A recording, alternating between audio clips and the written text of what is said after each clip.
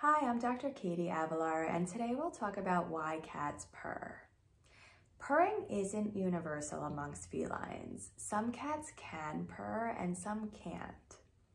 Lions are a good example of a cat that can't purr, but domestic cats, cheetahs, ocelots, servals, they can all purr. And people always ask me, what's the difference? Why can some cats purr while others can't? And it all has to do with the anatomy of their larynx. You might have heard the term voice box before. Well, that refers to our larynx because it's literally a box in our neck that controls our voice or controls a cat's purr. Purring is a very anatomically complex behavior. Emotions stimulate the brain to initiate oscillations that nerves transfer to the larynx and diaphragm. The larynx and diaphragm then oscillate and air moves in and out of the glottis in a repeatable pattern. A purr actually has a definition. It's defined as a 10 to 15 millisecond vibration that occurs every 30 to 40 milliseconds. So that equates to 250 vibrations per second.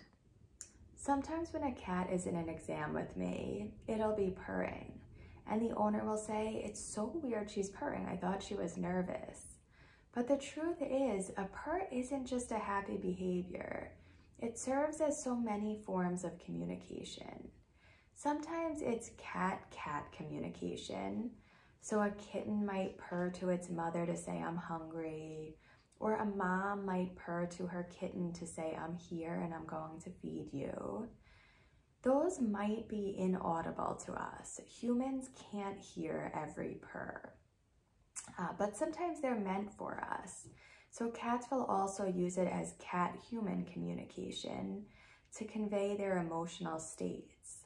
Some examples of emotional states are if our cat's purring to a melody and kneading its paws, then we know they're telling us they're happy.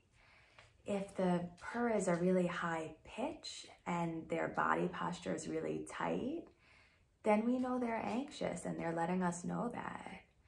Uh, but it also serves some other purposes. There's therapeutic purrs, mm -hmm where certain vibrations are actually known to increase joint mobility, bone strength, and decrease pain.